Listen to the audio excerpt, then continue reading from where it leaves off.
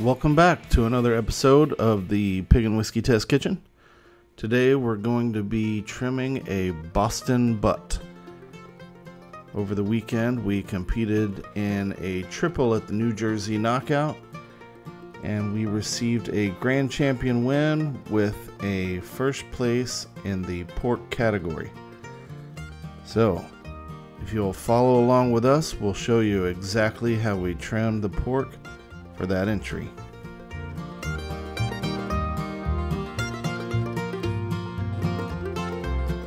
First off, we start with the highest quality pork we can find.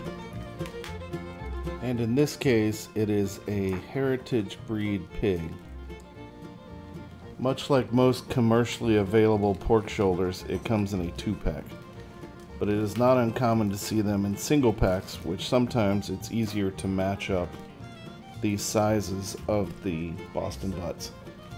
If you notice, this one on the right, or rather my left, is much smaller in size than the other one. But we're going to go ahead and trim it because we're doing a triple this weekend and we're going to need a total of six butts trimmed. So that'll allow us to match up butts that are similar in size and pair them up for each cook for each day. I'm starting with the larger of the two butts. I placed it on a folded paper towel and what that does is allows it to stay stationary on the board whereas sometimes the sliminess of the pork butt will cause it to slide all over the board. I'm starting with the bone end of the butt pointing towards myself. And if you notice at the bottom of the screen you'll see the money muscle which is easily identifiable by the vertical striations in the meat.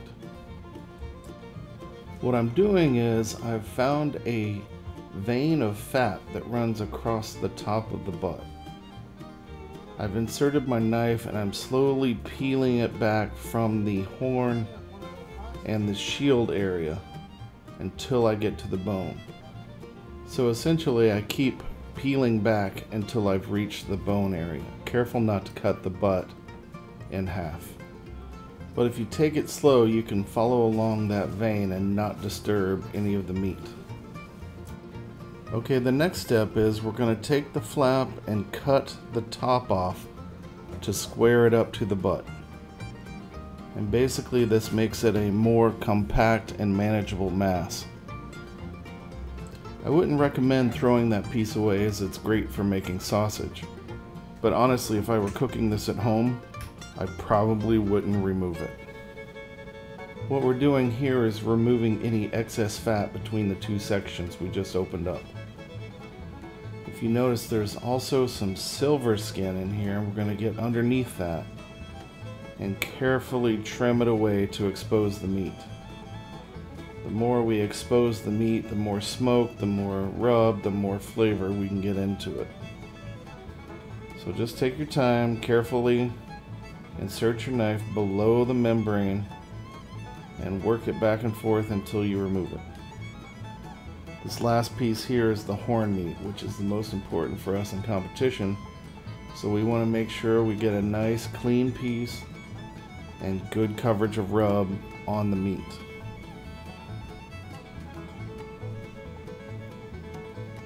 Okay, once we've cleaned that up, we're going to clean up the inside of where the flap was. There's still a little bit there and it has its own fat and its own membrane.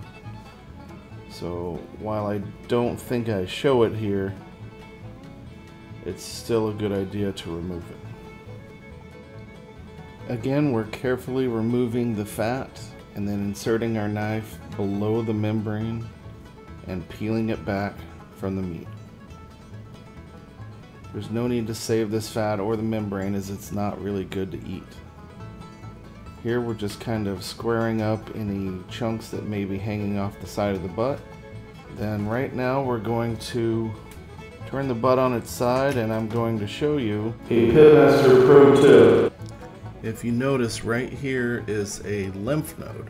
Now what we're going to do is go ahead and carve that out because we don't want it to affect the flavor of our meat.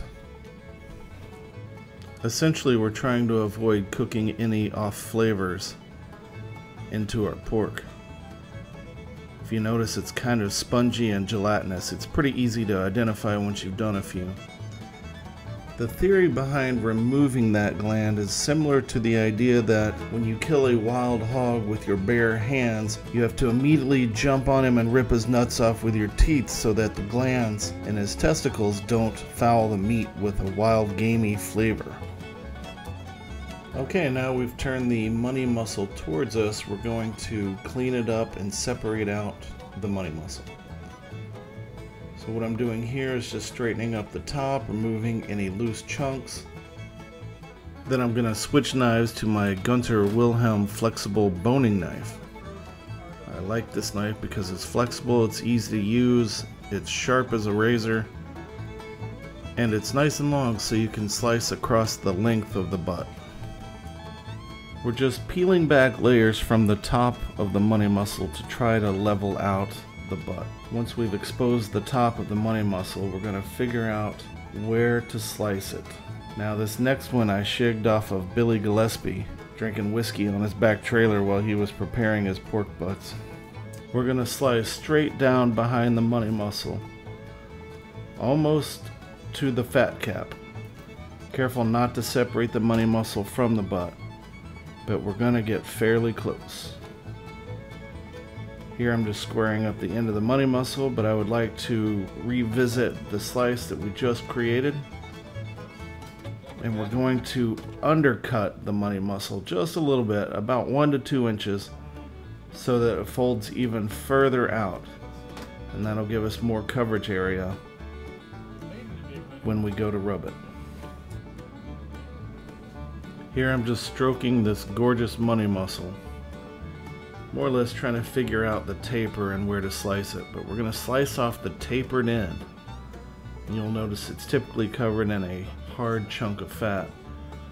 But by slicing this off, what it does in theory is it keeps the money muscle from twisting while it's cooking. And it keeps the various muscles from separating. Sometimes this still happens as the fat veins in the money muscle can often render out and expand, and this will affect the overall integrity of the money muscle when you begin to place it in the box for turn-ins.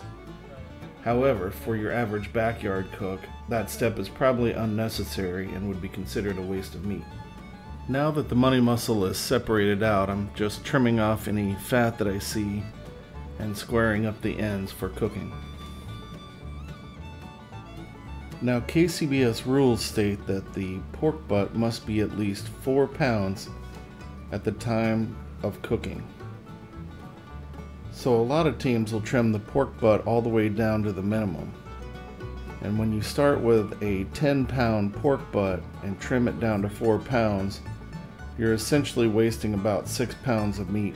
Some teams will even remove the bone, but essentially all this does is speed up cooking time and a lot of that meat tends to be wasted. But some teams focus more on trying to win than cooking a full pork butt, so it's understandable.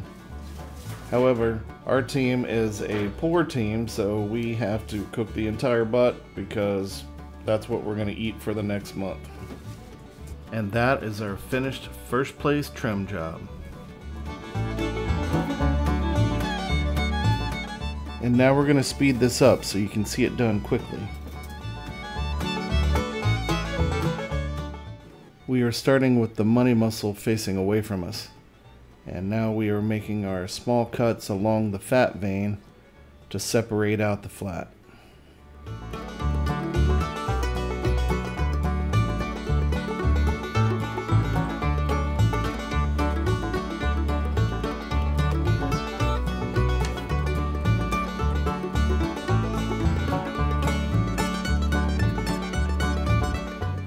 Here I turn the butt so you can see how we get down into it. But I'm cutting down into the lymph node and I'm trying to get under it. As you can see I easily removed that one in one piece. Okay, now that we've got the flap separated out, we're to go ahead and try to remove the fat and the membranes. So we're sliding the knife underneath making our cuts to remove it, trying not to remove any meat. slicing as carefully as possible so that you don't cut yourself.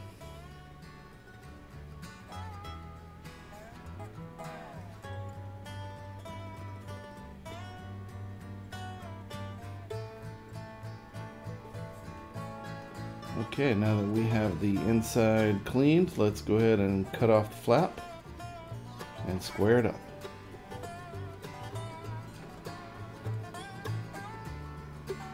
Go ahead and level the top of the butt.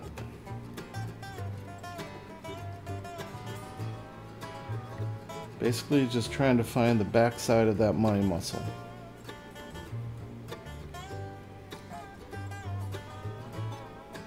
Squaring up the butt and the money muscle. We're going to slice down the back side.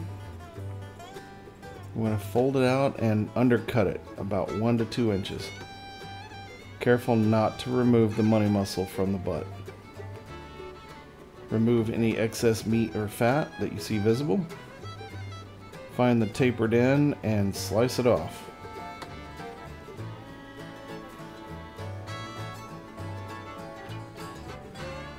Always keep in mind that you're cleaning as you go. If you see any excess fat, be sure to remove it. Some people like to do it at the end after they've finished trimming the butt, but I prefer to do it as I go. Okay, that's our finished butt. There are many different ways to trim a pork butt. This just happens to be our favorite. And as you can see, the results speak for themselves. We entered three contests this weekend, and we didn't receive anything less than sixth place. Thank you for joining us today in the Pig and Whiskey Test Kitchen. We hope to see you next time. Subscribe.